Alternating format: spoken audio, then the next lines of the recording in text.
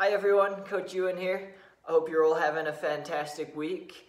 Uh, it's been so encouraging to myself, um, the other coaches, and I'm sure all the members just to see everyone come together and take this challenging time head on. Um, we're still getting our fitness in, we're still interacting with each other, um, we're doing the best we can with what we have. So that's been really awesome to see, you guys. So keep it up, keep posting, keep joining our classes.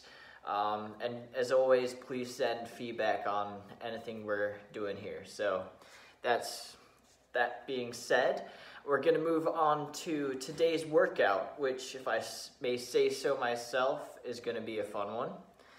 Um, we're to start off with that question of the day, um, and then we're to move in to a warm up, which is a five minute AMRAP of 10 jumping jacks into 10 in and outs, five push up down dogs, straight into five toe taps, and then five plank to the bottom of your squat, otherwise known as bottom half burpees.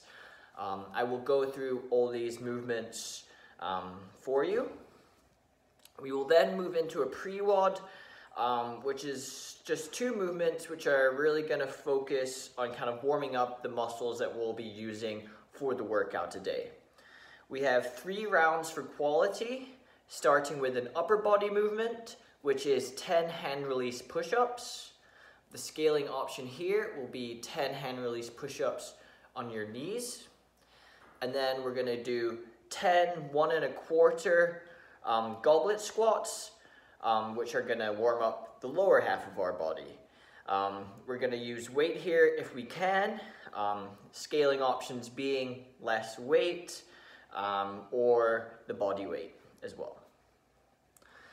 This will set us up perfectly for our workout. Our WOD today is called Pants on Fire.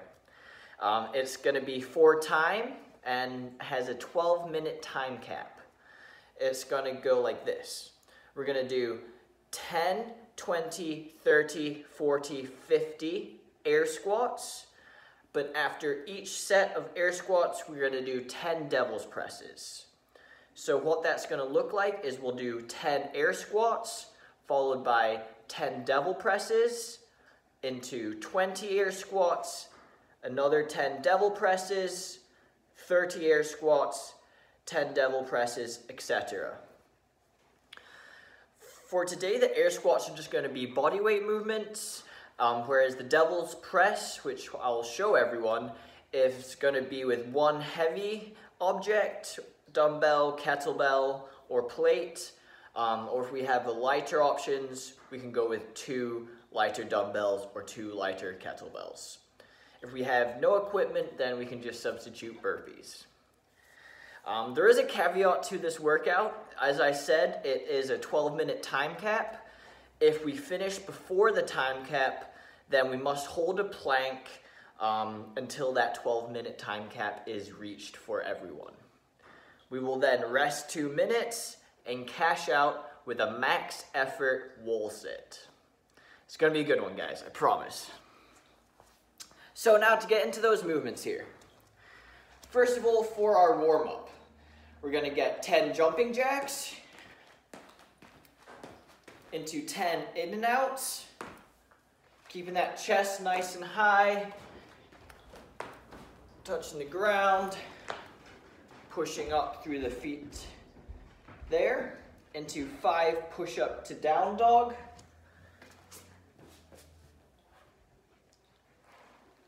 Getting a good stretch of the calves at the top.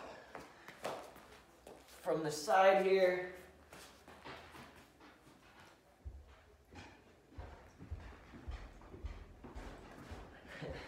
Sorry about that.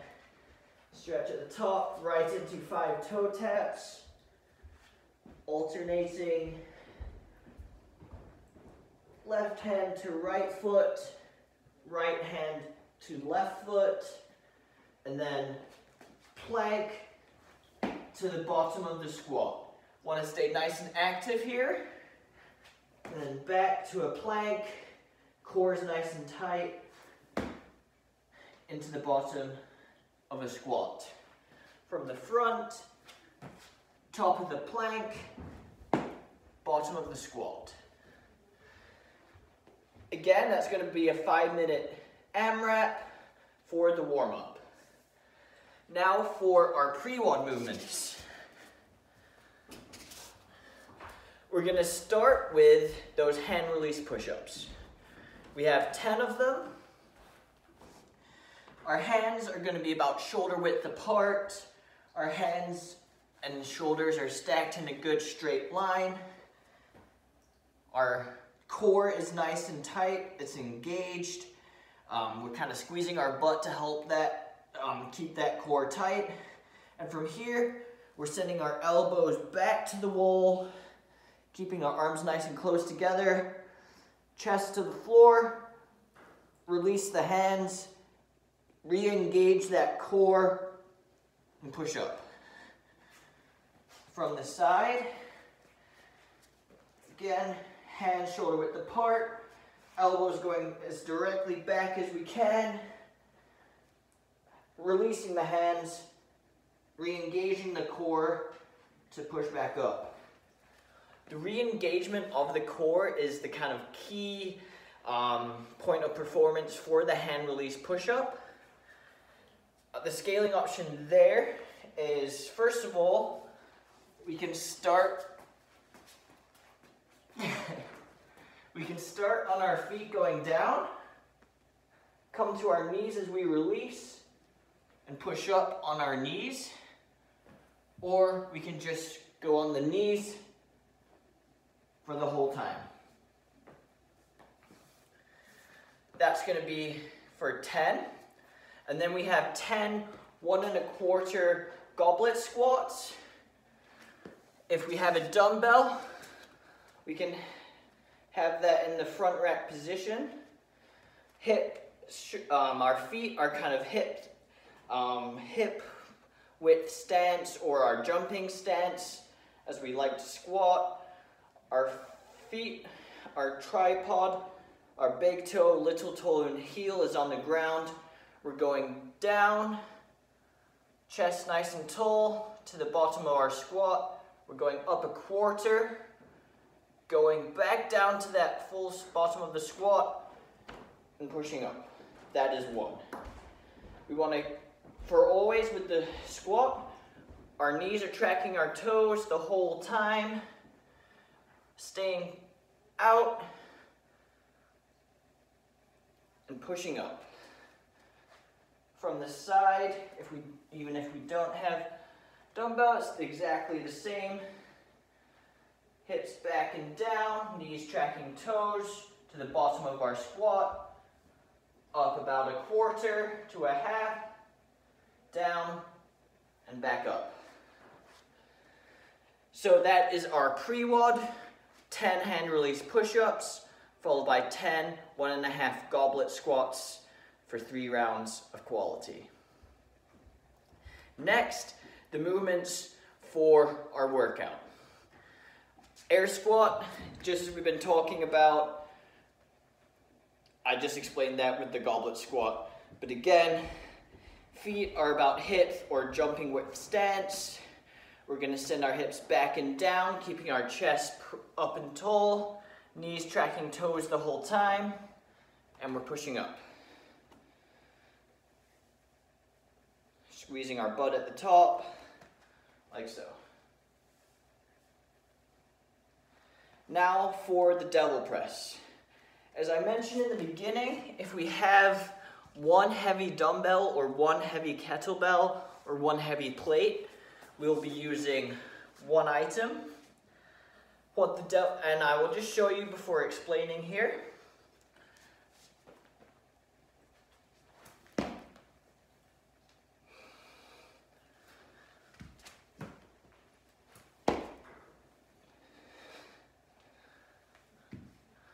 So the devil's press, I like to think of it as a burpee into a kettlebell swing.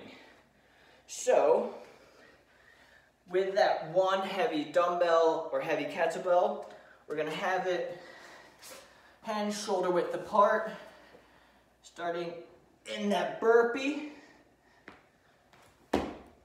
In the bottom here, we are swinging it overhead.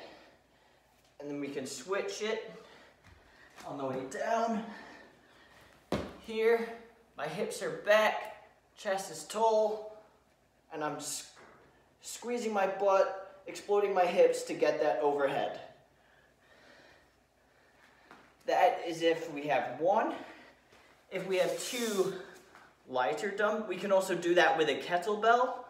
Um, if we need, we can also use a plate where we do, if we pretend this is a plate, we do our burpee behind the plate, pick the plates up overhead. Again, burpee behind the plate, grab the plate, and get it overhead. If we are using two lighter kettlebells or two lighter dumbbells, it is very similar, starting in that shoulder width position that we used for the hand release push-ups, going down into the bottom of the squat, using our hip drive to get them overhead. Again, burpee to the bottom of the squat. We're engaging our glutes and our hamstrings here.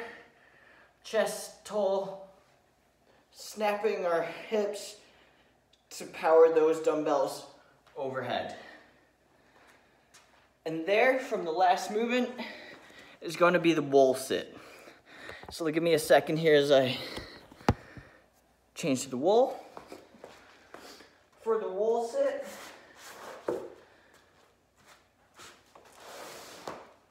what we want to focus on here is keeping our lower back against the wall the whole time. From there, my feet are just as I would in a squat, hip or jump width stance. We're bending down, our shoulder, shoulders are back and down, and my lower back is firmly on the wall. From here, I can already feel my legs burning, um, but my feet are firmly on the floor. That tripod, as I talked about earlier, big toe, little toe, heel are firmly on the floor as if I'm spreading a piece of paper apart. My legs are nice and engaged. I'm engaging my core, taking deep breaths, but my back, lower back is against that wall. It's a fun workout today, guys. Have at it. I can't wait to see you all in the virtual classes and seeing you guys post that score on Zen Planner. Take care. If you have any questions, please feel free to reach out to me or any of the coaches, and we'll get back to you with those answers. Take care. Have a good day.